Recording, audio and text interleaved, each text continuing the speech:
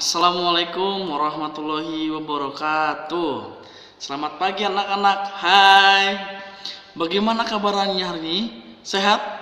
Alhamdulillah Anak-anak Kembali lagi kepada Pak Fandi Guru PJ UK MIT Nurul Iman 2 Nah anak-anak Dengarkan Bapak ya sekarang kita akan belajar tentang tema 3 yaitu gerak manipulatif pada bola basket.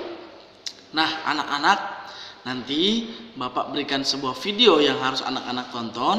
Tolong disimak ya dan diperhatikan. Yuk, kita tonton.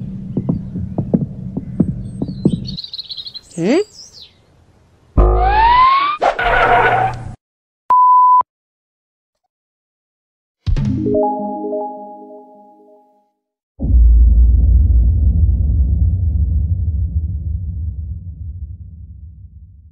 Permainan bola basket adalah permainan yang sudah sangat populer di kalangan pelajar.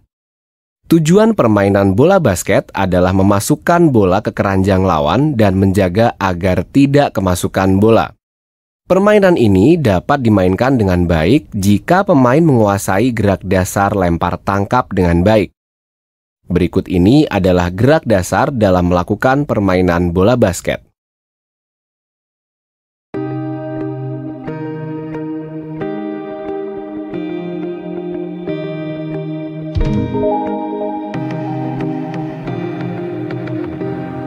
Melakukan dribble bola di tempat adalah sikap awal seperti menangkap atau menerima bola.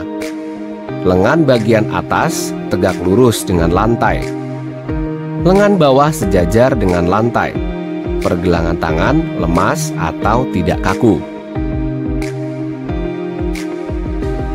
Cara mendorong bola dipantul-pantulkan di depan, samping kiri, dan kanan dengan telapak tangan berikut jari-jari tangan terbuka, bukan dipukul-pukul.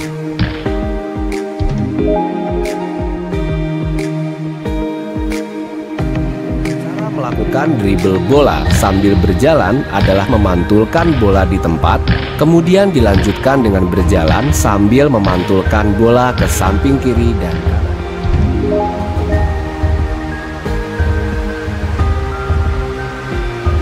Dribble bola sambil berlari, caranya sama seperti memantulkan bola di tempat.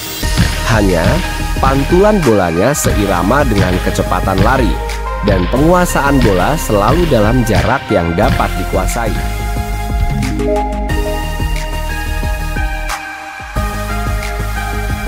Diri dengan kedua kaki dibuka selebar bahu, bola dipegang di antara kedua telapak tangan, Kedua telapak tangan melekat pada bagian samping bola sedikit ke belakang.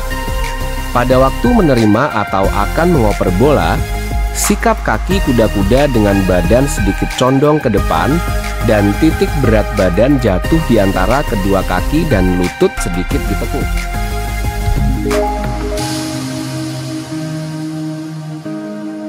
Cara melakukan cara melakukan passing dari depan dada adalah Berdiri dengan kaki dibuka selebar bahu dan lutut sedikit ditekuk.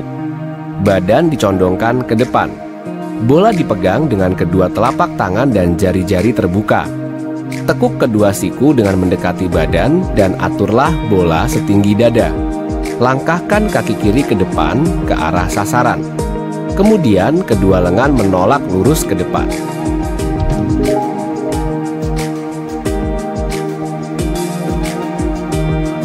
Dari atas kepala adalah sebagai berikut. Berdiri dengan kaki kiri di depan dan kaki kanan di belakang, lutut sedikit ditekuk.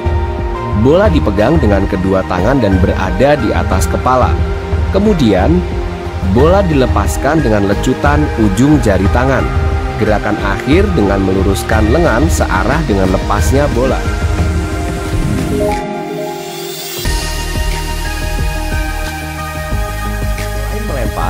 Teknik menangkap bola juga perlu dikuasai. Caranya adalah berdiri dengan kedua kaki dibuka selebar bahu, lutut sedikit ditekuk. Kedua tangan lurus ke depan dan kedua telapak tangan menghadap ke depan serta jari-jari tangan terbuka. Lalu, tangkap bola dan bawalah ke arah dada.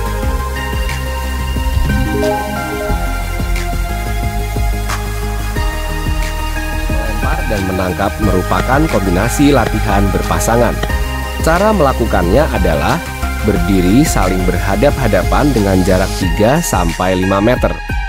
Kemudian, peserta didik dengan temannya saling melempar dan menangkap bola setinggi dada. Lakukan aktivitas ini 15 sampai dengan 20 kali lemparan secara bergantian.